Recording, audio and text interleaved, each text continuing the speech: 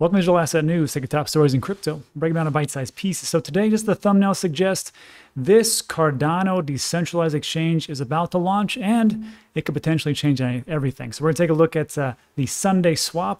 We're also going to take a look at some data that uh, could indicate when the Bitcoin top actually is. And it's just two lines and it's been correct over the last 10 years. Also, we'll take a look at uh, an ad I'm talking about as far as I need a researcher.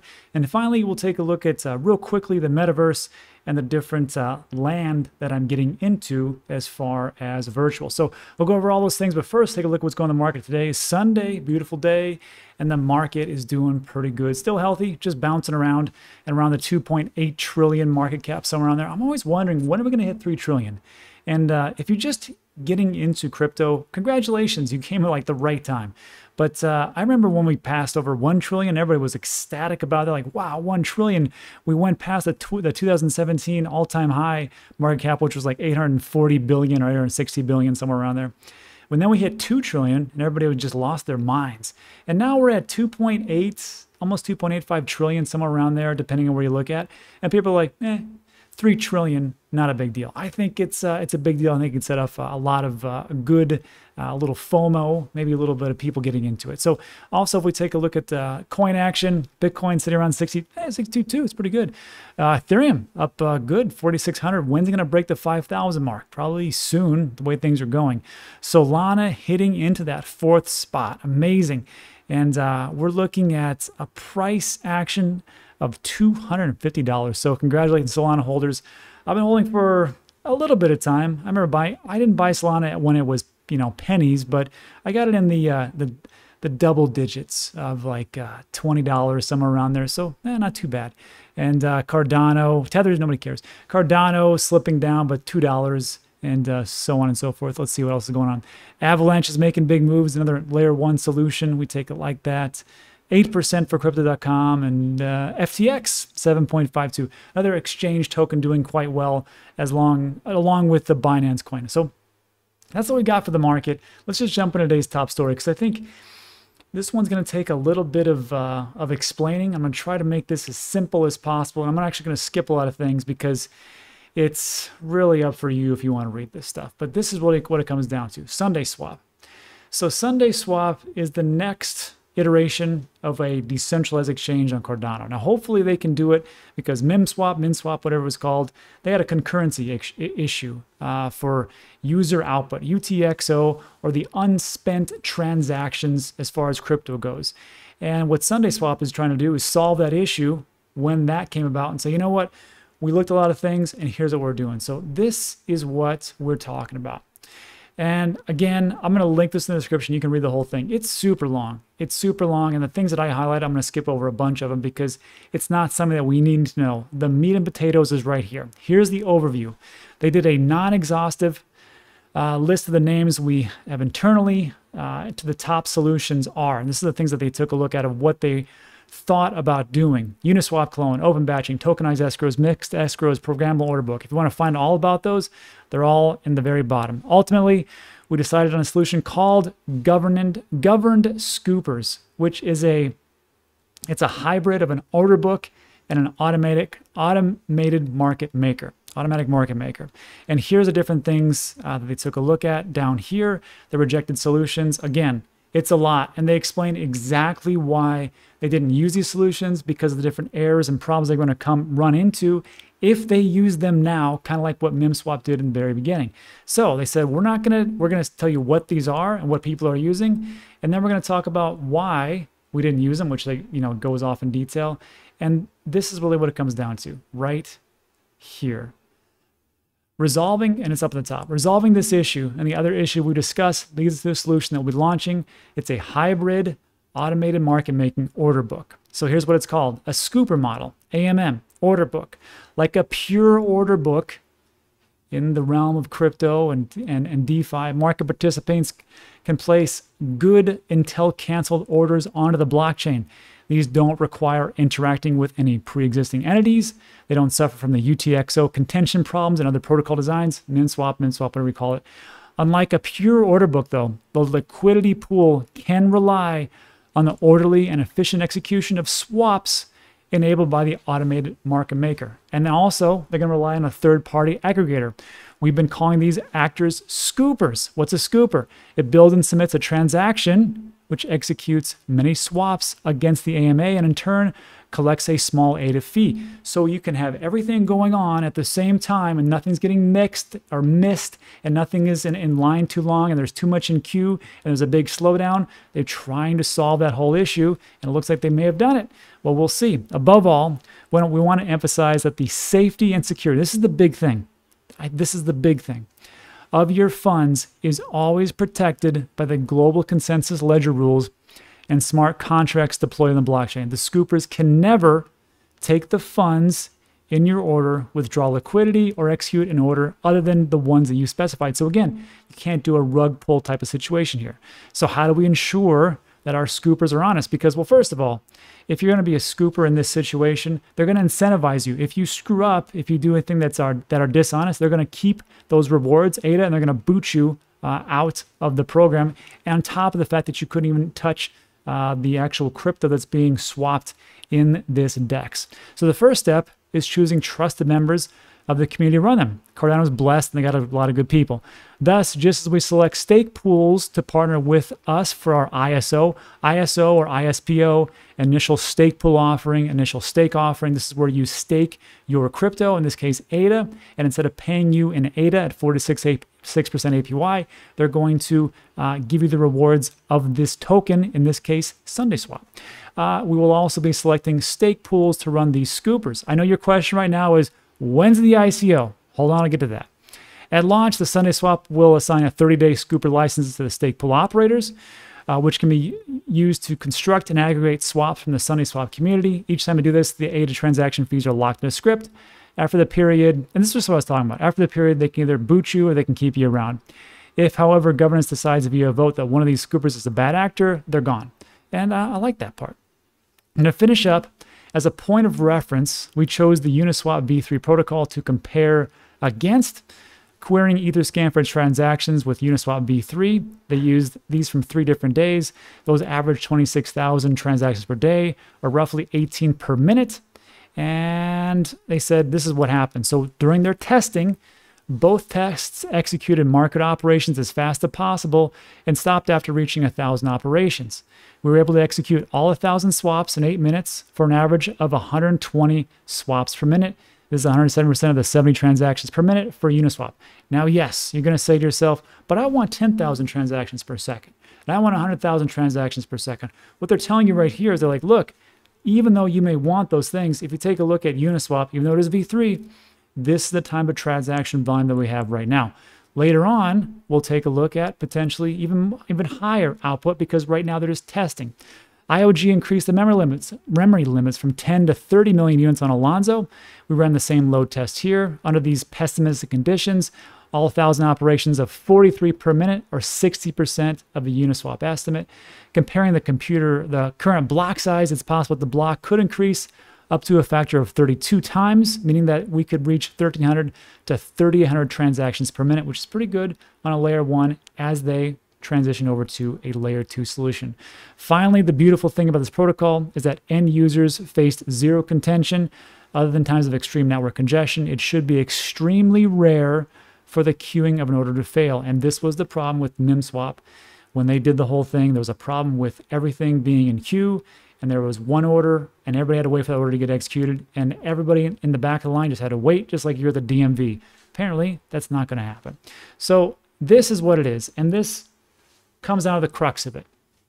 Why should you care? Why should you care? Well, obviously, a DEX would be a big thing, a working project, and that's going to be great for Cardano holders like myself. And this is what's going to happen. So they're going to start the selection process for the stake pool operators by publishing a Google form, blah, blah, blah. This is what they did.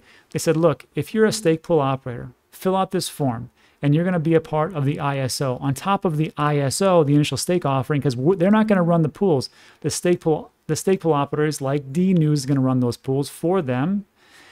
People are going to delegate there and they're going to give out the SundaeSwap. And on top of that, they're also going to be scoopers later on. So the public testnet will begin soon. The, then, then we'll have an audit, and then we'll launch our mainnet protocol, and along with it, uh, the ISO. And the ISO is coming up within a month or so. Correct me in the comment section, but that's what I've read so far. So this is what's going on. Things are moving in the right direction. And this is why I bring it up. First of all, trust is a commodity you can't buy. That's really what it comes down to.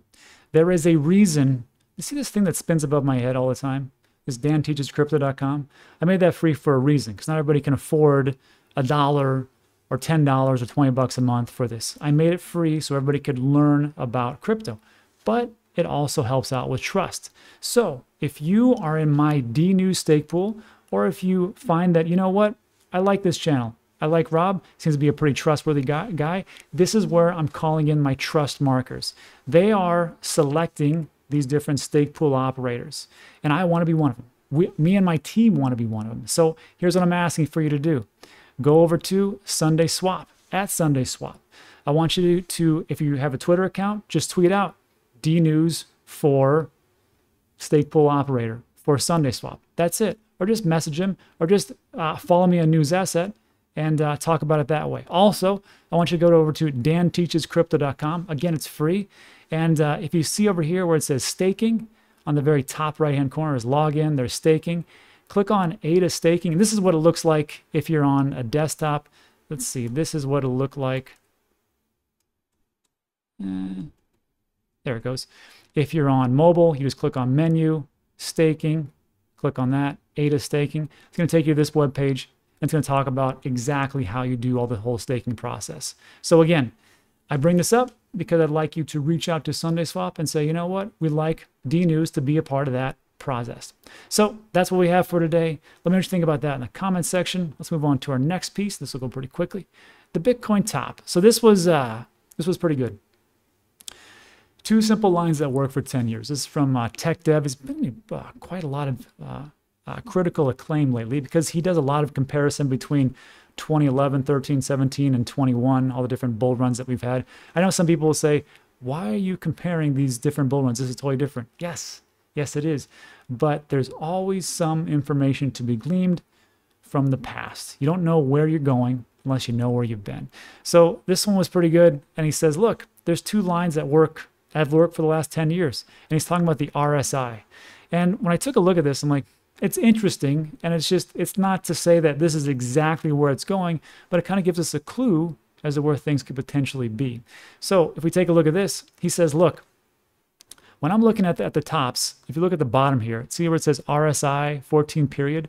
See where the tops are circled in 2011 it corresponds to the rsi and the rsi usually want to say like the relative strength index which just kind of determines if it's overbought or it's oversold. Higher it goes is overbought, lower it goes is oversold. Once it gets to a point around 90, 95, for Bitcoin I'm talking about here, this is what Tech Dev is talking about, you're looking at it's usually peaked out over the 14-day logarithmic chart.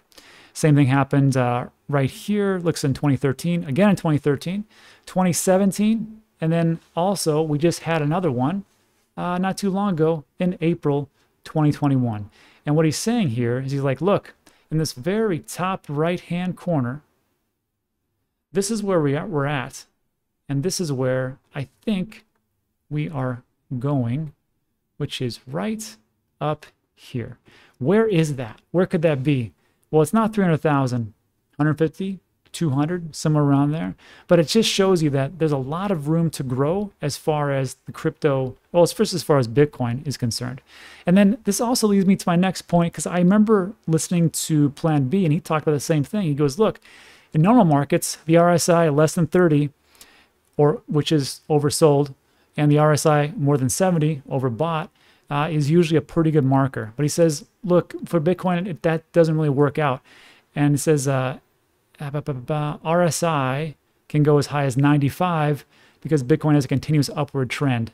And then he says he's kind of saying the same type of thing of what tech dev is saying. Then also, if we take a look at the Pi cycle top indicator, people have corrected me on this. They said, Rob, this hasn't been, been right four times. They looked back in time and they predicted that the, uh, the tops correspond to when this 111 day moving average flips over with the 350 day moving average times two. And it happened in 2013. It also happened again in 2013, just like what we talked about with uh, Tech Dev Let me blow this out. 2013s again. And then we saw the same thing happen in 2017. It flipped over the 111 day, 350 day moving average.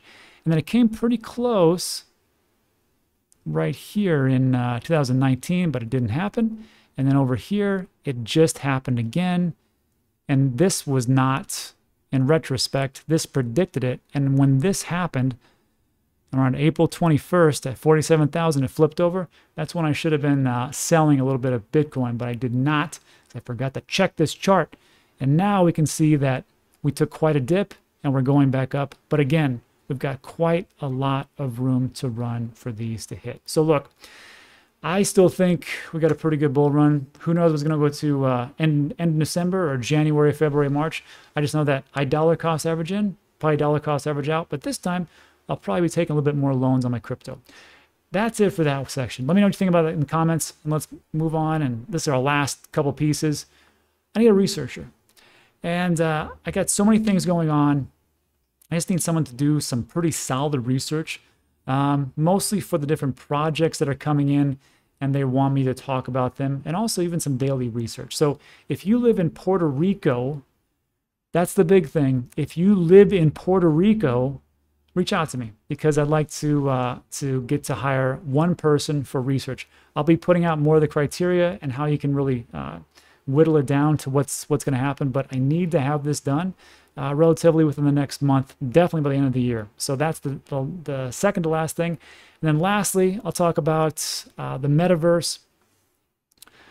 Uh, I'm kind of hoarse today because I did another video which I talked about my metaverse buys and the lands that I, I have uh, purchased be on between Sandbox and Decentraland. And I can tell you right now, I know people say that usually in real estate we hear location, location, location is like the biggest thing, but I found out in this one it's not that big of a deal uh, as opposed to in the metaverse. So I'll talk about the lands that I, I, purchased, how to purchase them, how to, you know, things to look for, things to avoid, and I'll release that video soon. But that's it for today. So look, if you, if you stuck with me to the end, thanks a lot. I appreciate it. A lot of things going on. If you liked the video, give it a like, give it a thumbs up, consider subscribing.